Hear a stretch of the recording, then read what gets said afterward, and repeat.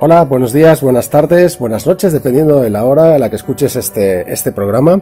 Hoy en Tendencias vamos a hablar de un par de tendencias muy chulas, desde que Lidl pueda montar un bar, pasando por cómo funciona la realidad aumentada en ciclismo, sin perdernos algunas de las novedades que te puedan afectar a tu negocio.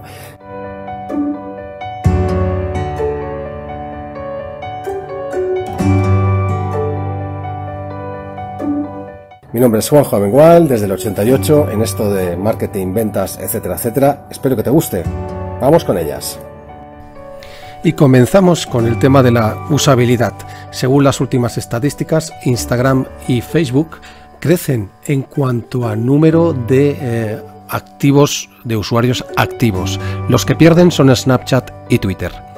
En otro orden de cosas, vemos que el vídeo se consolida como una fuente cada vez más, eh, eh, más consumida por los eh, datos concretamente y es la que más, como veis en la imagen, la que más está creciendo por encima de email, de, datos de otros tipos, incluso de los juegos. La importancia del vídeo queda patente en esta estadística. 500 millones de gente ve vídeos en Facebook cada día. Una de cada tres uno de cada tres eh, partes de tiempo lo dedican a ver vídeo en esta red social.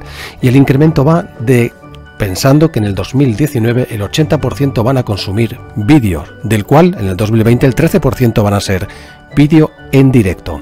¿Y cómo afecta el vídeo? Bueno, pues se presume que el vídeo, el contenido de vídeo, hace que el mail se abra en un 19% más. Además, el 87% de los eh, marketers creen que el vídeo debe estar en su contenido en este 2018 y en el próximo 2019. Sin duda el vídeo está no solamente en los anuncios, sino también en las stories de Instagram. Cambiando el tema, ¿a vosotros se os ocurre poner a un terminal de gama alta, el de más gama alta de Xiaomi, Pocophone? A mí esto me suena a que se han equivocado en el naming, porque poco en el mercado latino es poco, no es mucho. Ya pasó con otros problemas de naming, con otros modelos. Por ejemplo, acordaros del Mitsubishi Pajero, que en España tuvo que ser Montero. Bueno, pues eso, que en el siglo XXI hagan estos errores de naming, eh, a mí me da que pensar. Llamar el teléfono al smartphone gama alta de Xiaomi, Poco Phone, para mí es un anacronismo, no entiendo absolutamente nada. Vamos con Lidl. Lidl se va a empezar a abrir un pub en Irlanda, lo que oís. Lidl se está consolidando no solamente a efectos de supermercados, sino que también está buscando tendencias nuevas. Y lo cierto es que el tema va en serio. Un pub en Irlanda. Bueno, hay casos de estos, ¿eh? No solamente en Dublín va a abrir Lidl, sino que, por ejemplo, Amazon va a abrir un bar temporal en Japón. Starbucks está empezando a abrir panaderías y bares con bebidas alcohólicas en sus nuevos modelos de cafeterías. También hay grandes almacenes como Debenhams, que tienen 240 años de historia, que están reinventando las tiendas y montando gimnasios.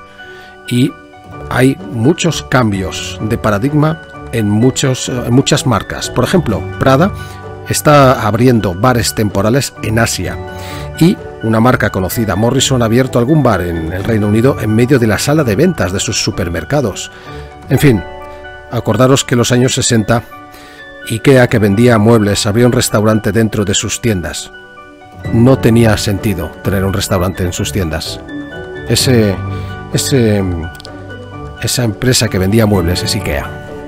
Los cambios están para seguir tendencias. Una de las cosas que siempre decimos que es tendencia y no lo acabamos de ver es el tema de la realidad aumentada. Hablamos cada año de que el año que viene, el año que viene y nunca llega. Bueno, pues en las pantallas veis cómo se usa la realidad aumentada con la explicación de un técnico en la televisión belga eh, sobre cómo funciona la estrategia en un pelotón y cómo afecta el túnel del viento. Como veis, sobre un tablero aparentemente mueve auténticos ciclistas que al cambiados, al cambiarlos, al ser cambiados en estos hologramas, pues da la sensación de que es de que está jugando con realidad aumentada. Y espérate lo que te rondaré morena. Esto no ha hecho más que empezar.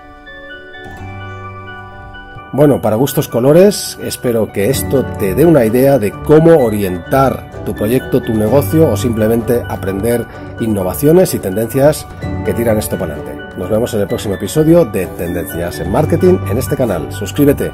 Un saludo. Chao.